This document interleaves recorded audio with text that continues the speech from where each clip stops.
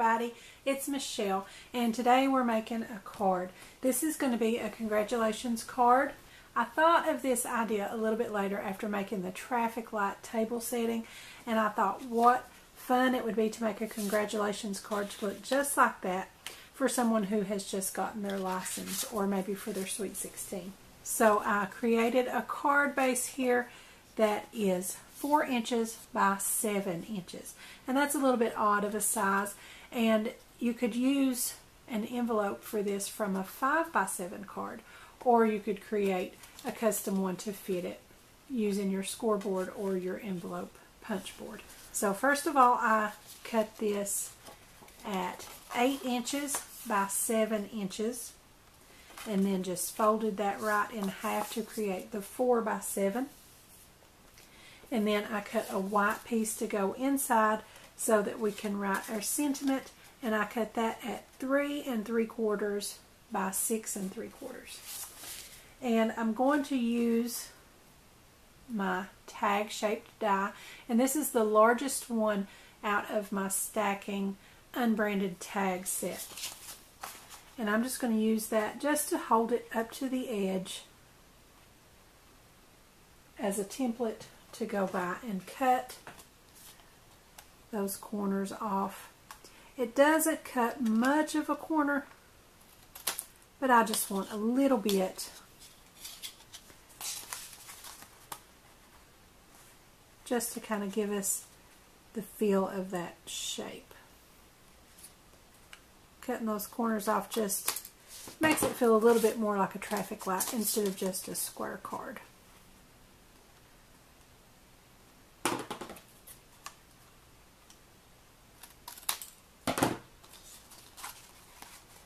Love this about dies. You don't always have to run them through your die cutting machine. You can use them as templates and stencils. And I think they are very versatile. You can get a lot of use out of these dies.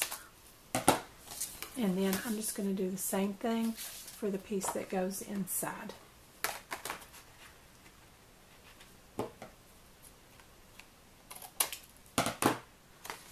And just slide it right over to the other corner.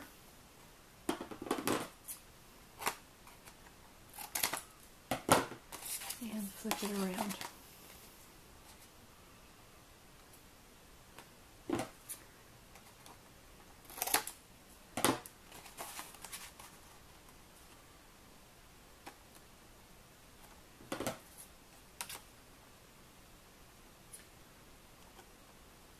Well, if I can get it to stay straight.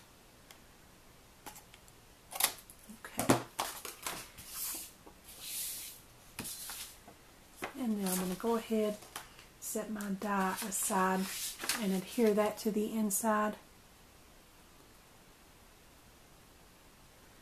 And that's going to be the perfect border around that.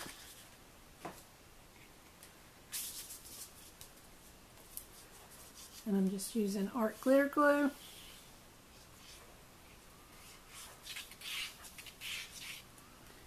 Just use whichever adhesive you prefer.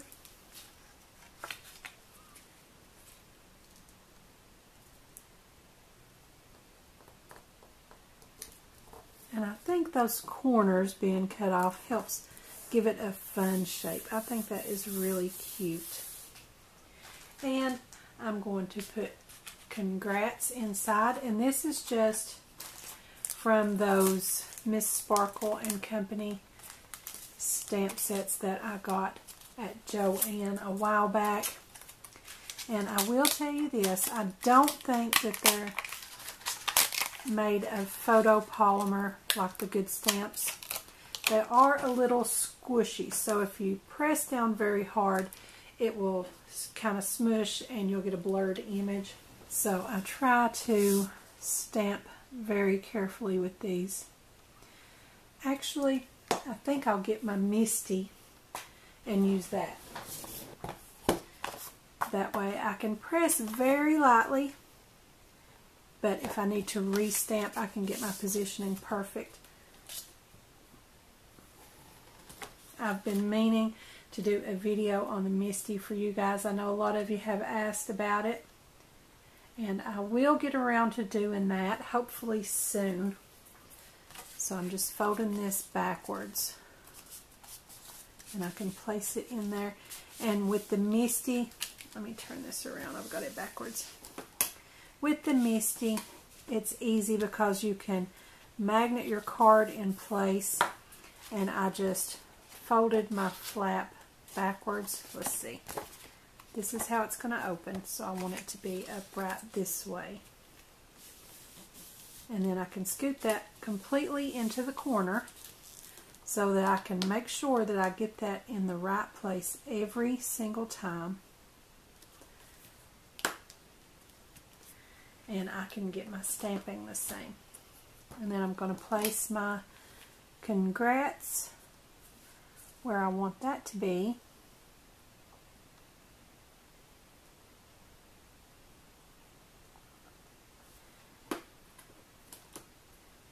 And then I just close the door on the MISTI and that will stick to that stamp and pick it right up just like my acrylic block would do.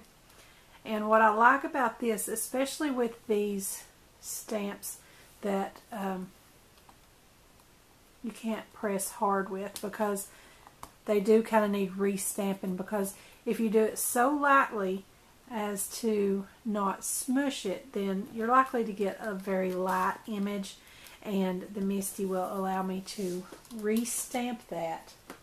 So I can do multiple stamps until I get it dark enough and it'll be in the same positioning every time because I know that I have pulled that down into the corner in the exact position.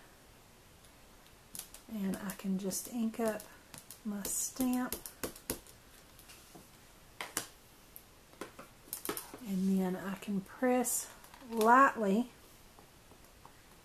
because I don't want to make a blurry image. But as you see, it doesn't stamp completely every time. So I can ink that up again.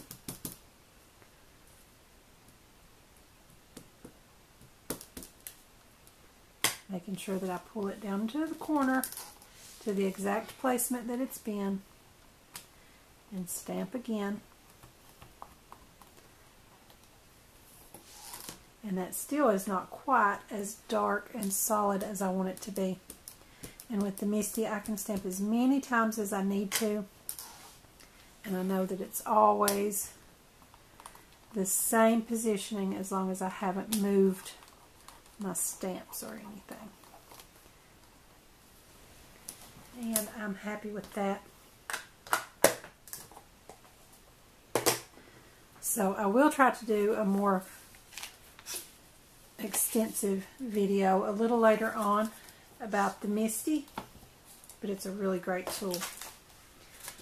Okay, so now to work on the front of our card, I'm just going to make my traffic lights on the front and I just cut those out of the adhesive backed glitter paper from Dollar Tree and I did that using my dies. Let's see if I can measure about how big these ended up being. So those are right at two inches. So if you don't have the dies, you could use a two inch circle punch. And with that adhesive back, I can just peel those right off. Again, it's not super sticky, so I am going to add a little bit of art glitter glue just to be sure.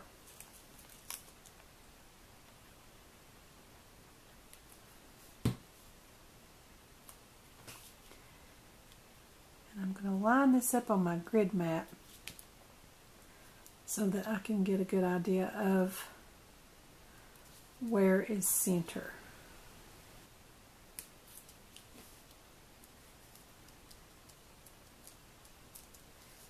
And then just press it down. And with that one centered up, I can judge a little more easily how to place the top and bottom ones.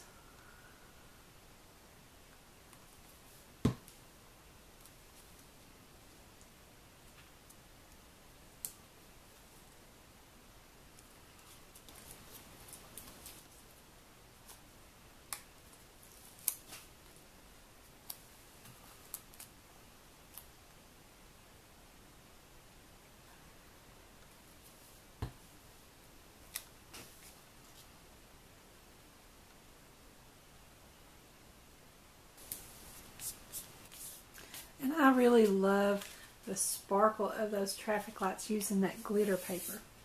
I think that is just adorable. And I think I want to make one more small change and that is just to add some stitching around that. And I'm using my Uniball Gel Impact pen in silver. And I'm just going to go around and add some stitching around the border.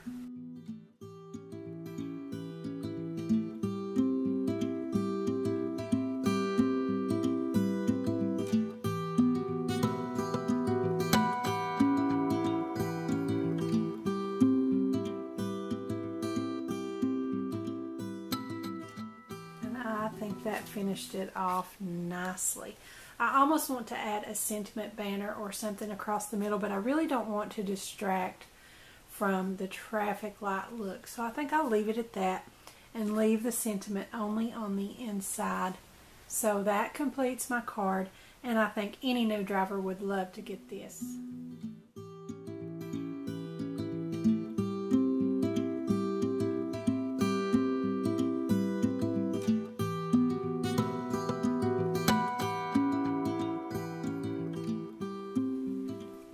Guys leave a comment below and let me know what you think of my traffic light card.